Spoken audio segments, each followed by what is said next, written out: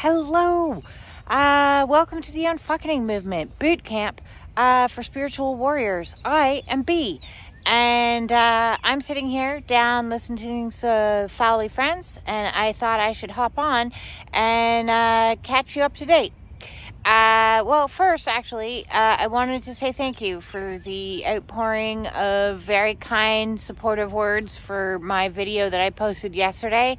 Uh, that was um, freeing uh, for me as an experience because uh, as I realized as I watched uh, the video back a number of times, uh, each from a perspective of what do I think this person would think, what do I think that person would think, I started to realize that uh, actually all the people that I used to be frightened of, uh, their opinions, uh, have no power over me anymore.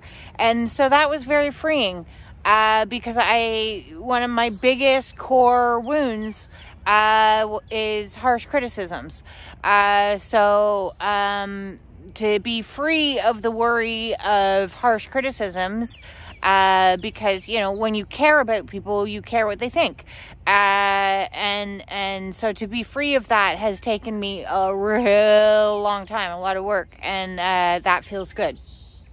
Uh, that being said, uh, Spirit is finally kindly downloaded me with a little bit more of a format uh, which is fantastic because up until this point, I've kind of been flying by the seat of my pants and been all over the shop. And so, if my channel has looked like it's been all over the shop, that's because I've been literally all over the shop.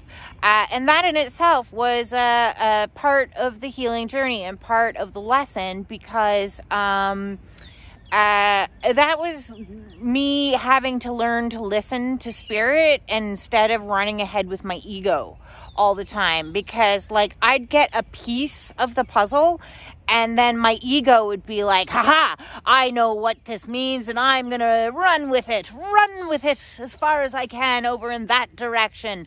And uh, guaranteed, uh, once I got there, spirit would come along and go, ha ha ha, tricked you, psych and uh, I had run really far up the wrong path. And I had to humbly make myself back to that center point again and then go off in a different direction until my ego was yet again activated. And I was like, ah, I know what's happening. And then I'd run down another path of with it, fury. And uh, it, I had a very strong. I'm very. I was very strong-willed person. Very, very strong-willed. So, uh, to tame my ego, to get my ego to stop doing that, uh, it has taken many years. Many, many years. you know, like I thought that I had things under control. I really did. I thought I had my ego under control. If you had asked me, like, I had reached a plateau of like spiritual uh, mastery uh, uh at one stage, and I had talked about this before. You got to watch out for that pitfall on the healing journey of reaching spiritual ego, because uh, uh, yeah, that's a comfortable place to stay for a while, and then spirit will come along and go, "Ha ha, yeah, you're not all that." You're you're not all that at all, and so yeah, you you quickly get humbled and uh, learn some lessons and learn to stop running down the wrong paths uh, and just wait uh, in divine time in the now for instructions. And when they start finally coming, thank God. Because, like, seriously, I wanted a memo. I thought I think that you know, Soul should have provided me with a proper itinerary, and then uh, my life would have been a lot easier. Had I known, you know, just do 40 years of this shit and then we're going to go through even worse shit. Uh, but then it's going to get better. Uh, you know, I might have played things a little bit differently. Uh, but that's the whole point is you don't know. And it's a conscious uh, evolution. So it is making the unconscious conscious. And uh, that is uh, the underlying purpose of the unfucking movement to unfuck our lives. Uh, so yesterday I put out and delivered mission number one. Uh, so for those of you who have missed it, I'm going to just throw that right back out at you. And that is uh, a commitment to self. Uh, so the absolute fundamentals of the unfucking movement that you are wanting to join uh, is a commitment to uh, yourself. So uh, take an opportunity to go look in the mirror and say, you know, I commit to you. That's who I'm doing this for. I'm doing this for you because uh, I'm I am under no uh, illusions or delusions or anything else that says uh, some other hero or some other person is going to come along and save me. I am the warrior in this uh, story. I am the hero. Uh, I am the one that's going to get myself out of this. So that's mission number one. Uh, today, I pulled a card and that seems to be kind of the trigger for when spirit kind of like points me in the right direction. Uh, and I wanted to go off on a little side tangent and talk about like how spirit delivers messages. Because for those of you on the awakening journey, you're going to be starting to get lots of messages. Uh, so messages uh, can come in so many different ways. So I have developed like uh, a clear auditory kind of thing here, as well as uh, uh, clair vision, clair clairvoyance. Uh, I have some telepathy, uh, but those are like the more advanced uh, ways of communication. And you have to develop the lesser ones before you can strengthen the, the, the more advanced ones. And I'm still strengthening these. They're far from like, you know, there's still going to be bug fixes, no doubt. Um, but when spirit first started talking to me uh, it started talking in synchronicities. Uh, so you might be noticing a whole hell of a lot of synchronicities keep popping up in your life. And what do i mean by that? Well synchronicities can come in a lot of forms. Often they come in, uh, in, numbers. Uh, so you'll see number sequences all the time all the time. And it's like i can't ignore these or number sequences. This is getting kind of like spooky.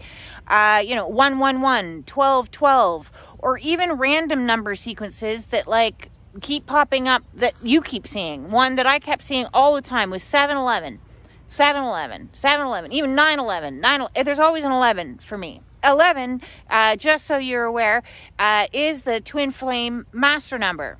And uh, so 11, those are two separate dashes, right? So most people would think, oh, well, that makes sense. You know, 1 plus 1 equals 2. Well, that's actually not the equation. The equation is 1 uh, plus 1 plus an extra 1, which is the divine, uh, equals 3. Uh, so that is the equation uh, or the geometric structure actually uh, that uh, spirit has shown me is representative of the twin flame a triangle because it's a connection between the divine masculine divine feminine and spirit the universe god uh, so when you have that triangulation, that triangle, uh, or in actuality, if you look at it from a three dimensional uh, way, you're looking at a pyramid. Uh, and so, an excellent example of this is uh, oh, they had it in the Da Vinci Code, uh, that movie, uh, that place, the Louvre, the Louvre in France. I've never been there, but I'd like to go. Where there's like a pyramid of glass on the top and a pyramid of glass in the negative going into the into the underground of, and uh, that's a perfect de- depiction of a divine masculine and a divine feminine, or because the divine feminine is receiving energy, so her pyramid is upside down it is like the chalice it is the cup it is the like uh, energy can and then the divine masculine is uh, the penetrating energy uh, so combined, uh, it's actually the process of conscious evolution because you take those two pyramids and then you put them intertwined. And I can't do it this with my hands really at the same time. So one's going down this way and one's going up this way. And what actually forms is the Star of David. And uh, it just gets like even more like interesting once you get into sacred geometry. But that's like way tangent off my point. Aha! Hey! I get really excited about this stuff. Uh, uh, so, um, yeah, I was talking about the uh, structure. Where, what? It, oh, I'm gonna have to edit this. Oh well. Um, so mission two uh, ha- came into me today. Uh, I pulled the card, um, and oh, methodology. This is how was, uh, spirit is showing me, uh, speaking to me. Ah, Oh, see, I have to go back. Um, uh, synchronicities, uh, so number sequences. Uh, you can also get um, uh, seeing animals, uh, seeing colors, seeing imagery, seeing getting the same name over and over and over again, like over and over and over again. Um, uh, any number of things, song lyrics uh, pop out and like resonate with you, or certain truths are heard and you're like, what?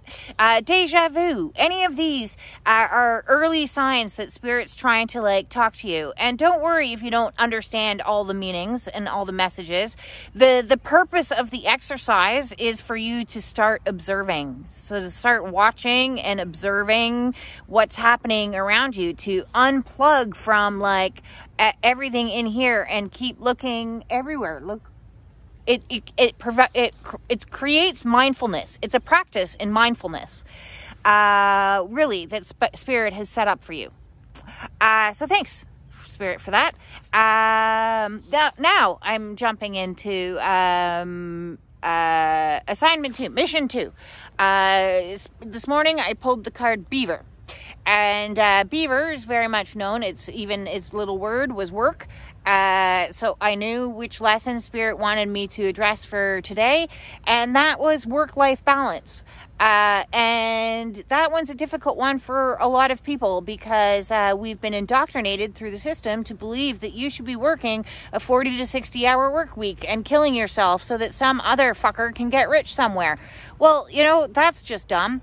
Uh, so I'm going to suggest to you that uh, you look at uh, my Instagram or on the uh, on the YouTube. I've got the mission up for you. There's lots of information in there, and identify yourself. If you're an overworker and an overachiever, uh, you need rest. You need play. You need to counterbalance that energy immediately. And so, A for able is achieve. You need to achieve less or what you have to achieve is in the non working accomplishments. You know what I mean? You have to achieve inner reality shit. You have to achieve relaxation. You have to achieve uh, calmness. You have to achieve um, peace. You have to achieve balance. So that's your second mission. But if you're on the other end of the spectrum, because and remember, everything is duality. Everything's a paradigm. So, in the paradigm of work life balance, uh, you need to put that energy of achievement, that solar plexus energy, into the center place. Uh, so, you're balanced between like excessive and depleted. And so to do that, if you are on the depleted end of the spectrum and you are a hoarder or you have too much mass or you uh, are generally just, you know, not doing things, you're avoiding life, you're sitting around and, and, and looking not at you're suffering from severe illness or depression, you still need to up that energy to bring it back into balance. So the only way to do that is to achieve one thing every single day in your exterior world. So clean a room, clean a cupboard, clean a thing on your phone, clean uh, like clean, clean, clean. Okay, so if you're over clean and uh, over perfectionist over here, you need to go watch Lord of the Rings and sit down and chill out. And if you are been sitting watching all of the Lord of the Rings multiple times, you need to stand up and go and, and clean a drawer. That's mission two. And this is a daily practice. A, able, a daily practice. You, uh, you, even me today, this morning, I was so excited because I was getting all these downloads and I wanted to work, work, work, work, work, work, because that's my comfort place. That's my happy zone. And uh, thank God I have Strider because Strider was like, no, dude, it's time to go out and unplug and like ground your energy and rest and relax and get into that feminine energy so you can receive. If you don't clear the decks and allow for yourself to have that chalice, that cup that to, to receive, if if it's already full of water and you try to pour water in a full cup, what are you going to receive? Nothing. It's just going to pour out onto the floor. So, energetically, a lot of people are walking around with a really full cup that's not able to receive anything, not able to receive any of the good stuff because they're not in balance. So, they've got too much uh, work going on on this end of the spectrum, and on this end of the spectrum, they don't have enough.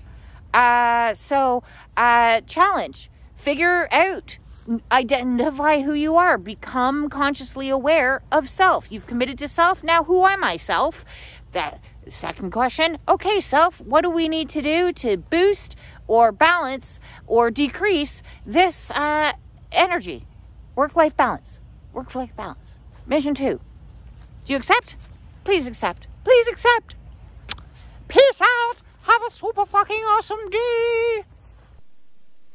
Hello again uh, so uh, uh, I'm I wasn't finished apparently, so I'm just going to add on to that because uh, spirit on my aligned walking, uh, which is why we very much recommend that you are out every day doing your aligned walking because it allows for you to see those synchronicities that I was talking about, and it allows for you to practice mindfulness as meditation that's movement meditation uh, because I think that you'll find that uh, traditional meditation styles uh, may be something that uh, a lot of the people that are watching me struggle with, uh, which are people of the spectrum.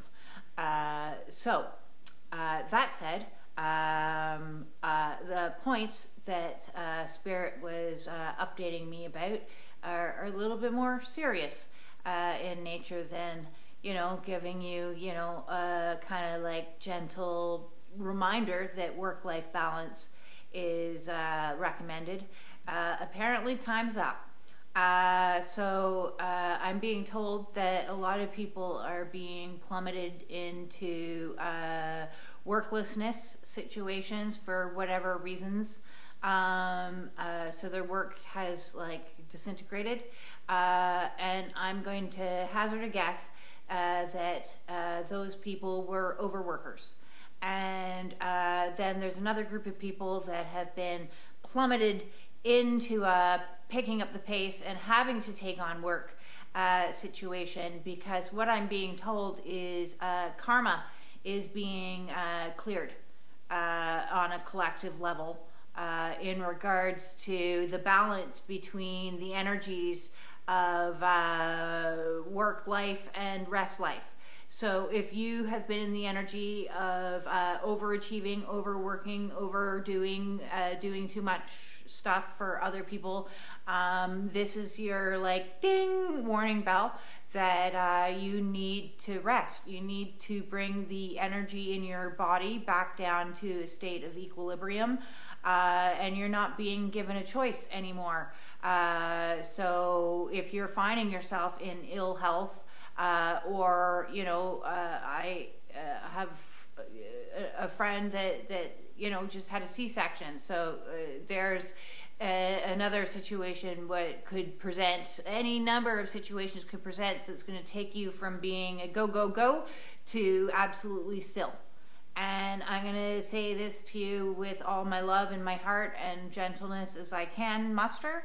Uh, if you prolong uh, and fight against uh, this lesson, uh, it's it's only going to delay your return to your happy comfort place, which is the place of work. Um, I know for me that certainly was the case. My happy place was work. As long as I felt like I was doing, I felt like I was being worthwhile and uh, worthy because that's how I was uh, I, I was trained as a child that I, I didn't have any value just in being. Uh, so here is the lesson uh, that uh, the universe is sending down that says uh, you need to learn to love yourself for just being you. Uh, not for what you do and not for what you provide other people's, just by being you. And we're going to like staple you in place uh, and refuse to let you leave uh, until it's like being in a cocoon uh, until you get this lesson, which is uh, you you need to just be, just be, And uh, that was a really hard lesson for me. Uh, I'm gonna admit, it very very difficult lesson because to go from a core wound of worthlessness uh, into worthiness, which is the underlying healing that's being taking place with uh chief, is the core root wound wound of worthiness. Uh, so those that feel unworthy have spent their life trying to accumulate as much as they possibly can to prove uh, their worthiness in one way or another. Work, work, work. Uh, and those that you know uh, are have ha- had too much entitlement um, uh, may be plummeted into a situation where there's a little bit of falling from grace. And things that were really nice and soft and padded situations may all of a sudden be no all of a sudden now you're got to go and get a job and uh, take care of yourself. And um, that's the universe coming along and uh, righting itself so we're in a transitory phase right now astrologically speaking and we've just shifted into a new age uh, and uh, we are going to start to balance the books here a little bit is what I'm being told. Uh, those that don't know me, my name is B, uh, but I'm currently channeling and energies. Uh, we are known as Michael. Uh, so uh, I am coming to you today as Michael uh, because, uh, and talking through B, uh, I have done many times because it, it is time it is time that the energies get balanced. And um, I don't want to put anybody into a state of panic or a state of um, um, uh, yeah worry. Uh, all of these challenges are challenges that you uh, have signed up for on a soul level to experience uh, to come down here as a, a, warrior of light and to clear the karma. And that's what this is. This is karma that is developed. So everybody has karma. That's just the simple fact of you come down to earth and everybody has karma. And I've discussed this on different videos. And those karma buckets are going to start to be righted. Uh, so each individual person uh, who has signed up for the uh, awakening process, uh, uh, all soul contracts are, have been activated, and those, yeah, that that found themselves in a position of luxury. Uh, may soon find that they are needing to uh, balance the books a little bit. Uh, so uh, that being said, uh, I I'm going to sign off uh, for now and. Uh,